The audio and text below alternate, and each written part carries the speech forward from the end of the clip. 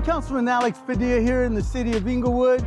Today we were out here collecting canned food for our community in need. We teamed up with the LAX Food Pantry. We collected a bunch of food, canned food, everything to help those families in need. Hi, I'm Andy Pollock. I'm the president of Food Pantry LAX. We are located in Inglewood. We give out free groceries to needy people twice a week. Anyone can come, no sign up even required.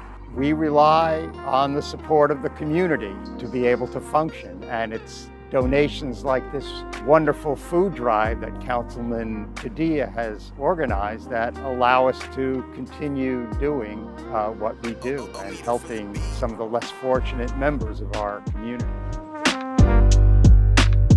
I want to thank our community for your graciousness and for your kindness.